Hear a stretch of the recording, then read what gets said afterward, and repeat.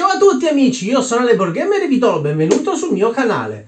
Quest'oggi vi insegnerò a giocare ad un titolo storico che ormai ha compiuto 10 anni in questo 2022 ed è stato ristampato per l'ennesima volta da Asmodee grazie all'incessante richiesta di tutti i suoi fan. Oggi vi insegnerò a giocare a Seasons, un titolo di carte, drafting e dadi per 2-4 giocatori della durata indicativa di circa 50-60 minuti per partita. Ma prima di partire con il tutorial vi ricordo brevemente che questo video è stato sponsorizzato da Blasone Shop. Se volete acquistare anche voi la vostra copia di Season potete farlo cliccando nel link che trovate in descrizione. Inoltre potrete usufruire del 15% di sconto utilizzando il mio codice sconto esclusivo che trovate proprio qui sulla destra. Insomma, che dire di Seasons? Se a 10 anni dalla sua uscita riesce ancora ad emozionare milioni di giocatori, un motivo ci sarà. Per chi ancora non lo conoscesse, Seasons è un gioco di carte e dadi famoso per la sua infinita variabilità. Noi saremo dei maghi e dovremo sfruttare al massimo le nostre 9 carte che avremo a disposizione. Ma insomma, non perdiamo tempo in altre chiacchiere, andiamo subito a vedere come si gioca a Sua Maestà Seasons. Ed eccoci qua allora a vedere come si gioca a Seasons. Prepariamo velocemente una partita. Piazziamo al centro del tavolo il tabellone delle stagioni. Prendiamo i segnalini neri e li piazziamo sull'1 del primo anno e sull'1 della prima stagione, ovvero l'inverno. Prendiamo il tabellone dei cristalli, lo piazziamo di fianco a quello delle stagioni. Questo rappresenta i cristalli e poi a fine partita i punti vittoria. Ogni giocatore dopo aver scelto il proprio colore piazzerà un segnalino sullo zero di partenza e un segnalino sulle centinaia. Poi prendiamo in base al numero di giocatori i dadi delle stagioni. Ipotizzando una partita a due giocatori, prendiamo tre dadi per ogni colore. Creiamo una riserva di energie, che poi sarebbero le risorse. Poi ogni giocatore, sempre con il colore scelto, prende il suo tabelloncino, la plancetta di gioco, e piazza gli altri due segnalini del proprio colore, uno sullo 0 dei poteri speciali e poi sull'1 del grado di invocazione. Il grado di invocazione, come vedremo, ci dice il numero di carte che possiamo giocare. In questo caso, iniziando con l'1, significa che potremo giocare all'inizio solo una carta. Adesso andiamo a vedere la distribuzione delle carte, perché questa è molto particolare. Allora, innanzitutto cominciamo col dire che all'interno della scatola troverete 100 carte. Le carte sono numerate da 1 a 50, vedete in questo caso è la numero 28 di 50, ed ogni carta è disponibile in duplice copia. Il setup delle carte, come detto, prevede tre difficoltà. Per le prime partite o comunque per i giocatori che non hanno esperienza con Seasons, il gioco ci propone 4 set di carte prestabilite. Quindi se voi giocate per la prima volta e non avete esperienza potete seguire questo consiglio, quindi prendere un set di carte, 1, 2, 7, 17 e così via, il 2, il 3 e il quarto set. In questo caso non effettuate nessun drafting, cioè non vi scambiate le carte di inizio partita, ma utilizzate un set fisso. Quando avete preso un po' più di esperienza possiamo andare a fare il drafting. Il primo step per il drafting è utilizzare le carte dall'1 al 30, che sono le carte un po' più semplici. In questo caso come facciamo? Ad ogni giocatore vengono date 9 carte, i giocatori guardano le carte che hanno ricevuto. Un drafting che cos'è? Il giocatore sceglie una carta, la mette coperta e la passa al giocatore di destra. Il giocatore riceverà a sua volta le carte dal giocatore alla sua sinistra, sceglierà un'altra carta e così via finché tutti i giocatori non hanno scelto 9 carte. Queste 9 carte rappresentano la mano dei giocatori per tutta la partita. Infine abbiamo il terzo livello, quello avanzato, che è quello che consiglio per godersi a pieno Seasons e godersi la sua variabilità praticamente quasi infinita, in cui noi facciamo sempre il drafting di 9 carte, ma usiamo le carte dall'1 al 50, quindi usiamo tutto il mazzo completo. Quindi, una volta che tutti i giocatori hanno ricevuto le loro 9 carte per la partita, andiamo a mischiare tutte le altre carte restanti, andando a formare un mazzo di pesca. Durante la partita noi non utilizzeremo solo queste 9 carte, ma avremo la possibilità di pescarne di nuove tramite i dadi o tramite le abilità delle carte stesse. Ma prima di iniziare la partita tutti i giocatori ora devono compiere delle scelte. In cosa consistono queste scelte? Devono dividere le nove carte che hanno appena ricevuto in tre mazzi diversi.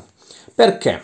Tre carte verranno utilizzate all'inizio della partita. Durante la partita noi andremo a far avanzare il contatore delle stagioni sul cerchio delle stagioni. Nel momento in cui il segnalino nero sconfina di nuovo in inverno, passiamo dal primo al secondo anno. Che cosa succede? Noi dobbiamo scegliere sempre ad inizio partita tre carte che entreranno in gioco non appena scocca il secondo anno. Altre tre carte verranno prese dal giocatore quando arriverà il momento del terzo anno. Ora che i giocatori sono rimasti con le tre carte iniziali in mano, possiamo andare a cominciare la partita. Un turno di gioco in Seasons si svolge in questo preciso ordine.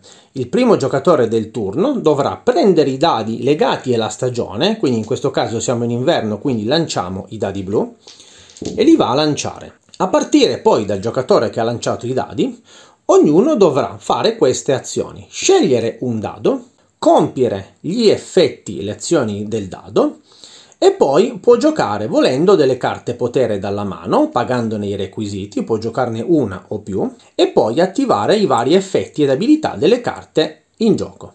Il gioco procede in senso orario, quindi il giocatore alla sinistra sceglierà anche su un dado e svolgerà le proprie azioni, e poi avanzerà un dado. Considerate che qualsiasi sia il numero di giocatori al tavolo, avanzerà sempre un dado.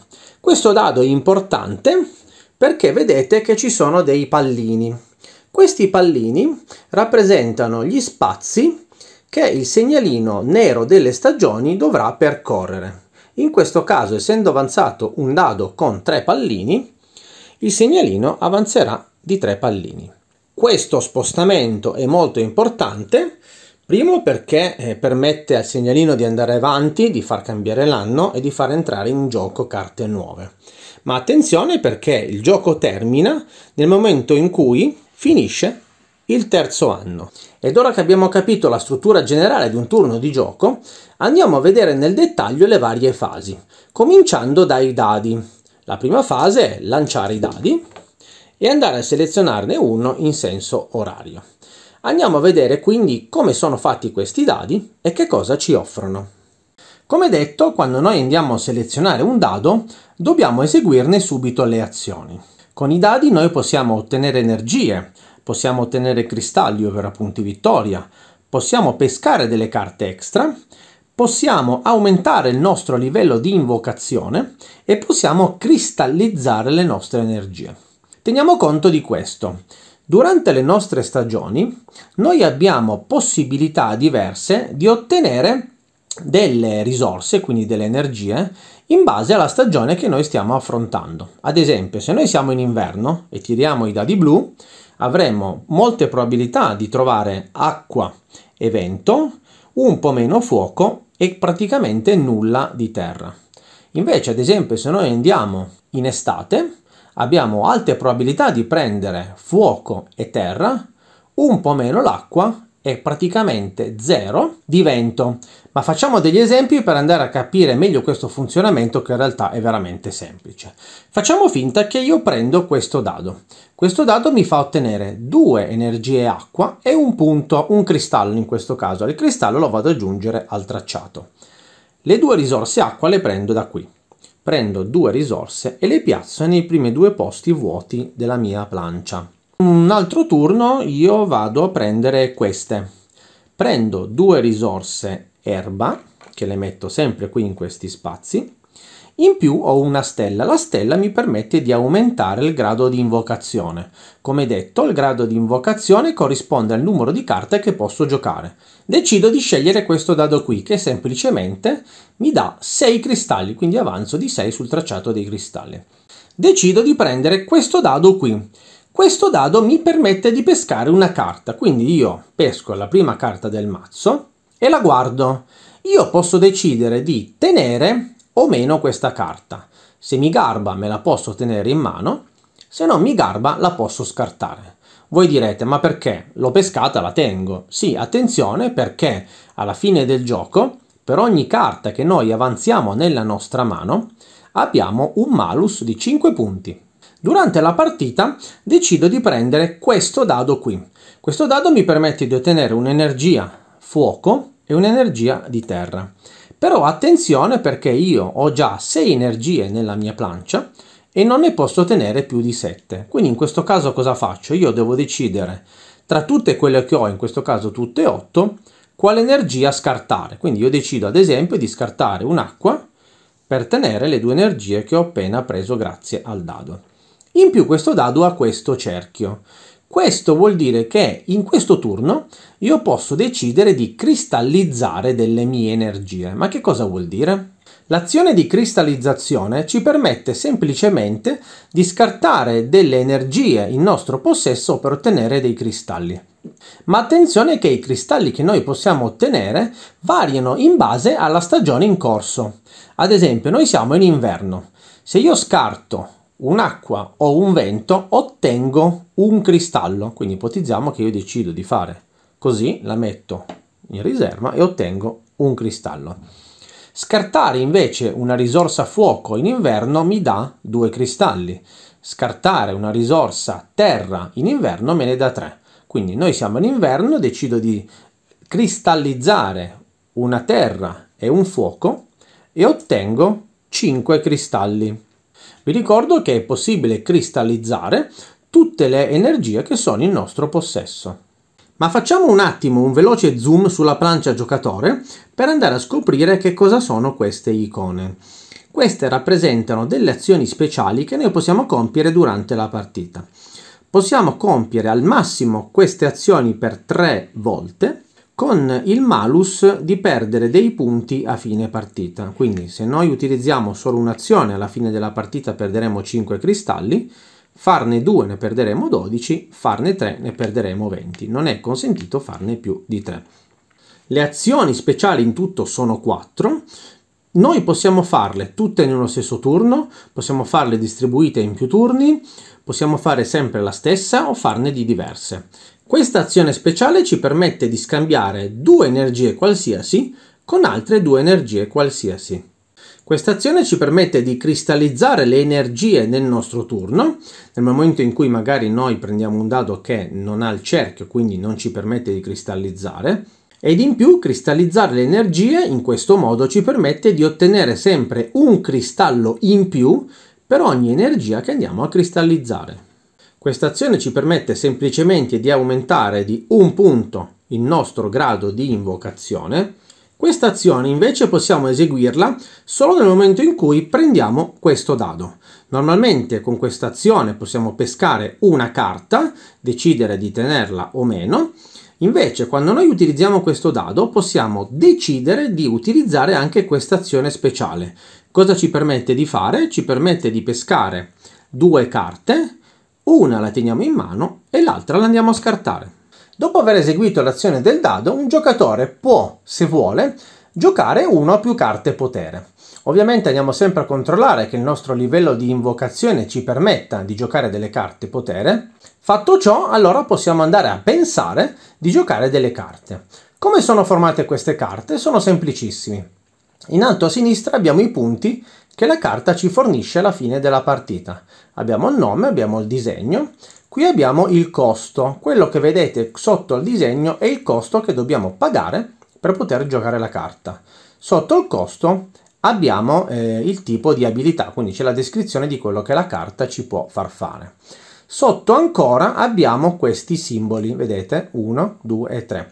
Questi simboli rappresentano il momento in cui la carta ci permette di utilizzare l'abilità. Facciamo un esempio. Voglio giocare la statua benedetta di Olaf. Mi costa 3 risorse acqua. Quindi cosa faccio io? Vado a pagare alla riserva 3 risorse. 1, 2 e 3.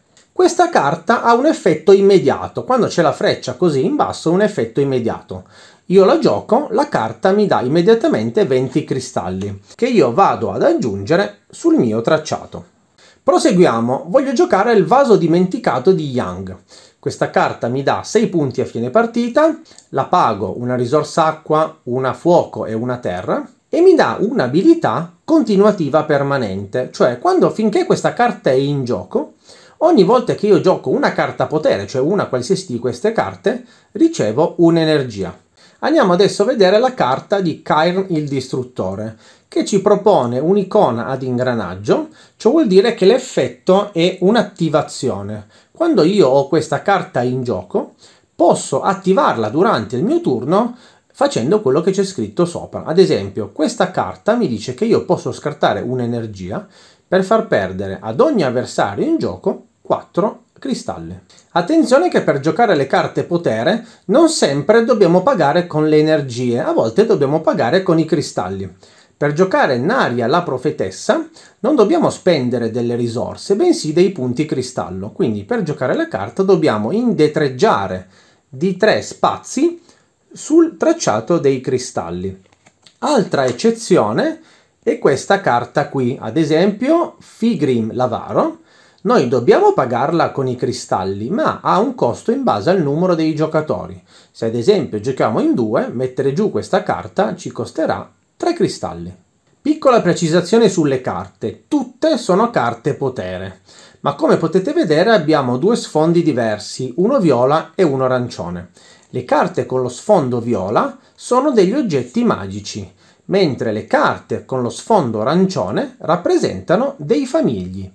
Una volta che tutti i giocatori hanno scelto il loro dado, come detto ne rimarrà uno solo. Facciamo quindi avanzare il segnalino sul tracciato delle stagioni, in questo caso di tre spazi. Il giocatore che per ultimo ha preso il dado stagione diventerà il primo giocatore nel turno successivo.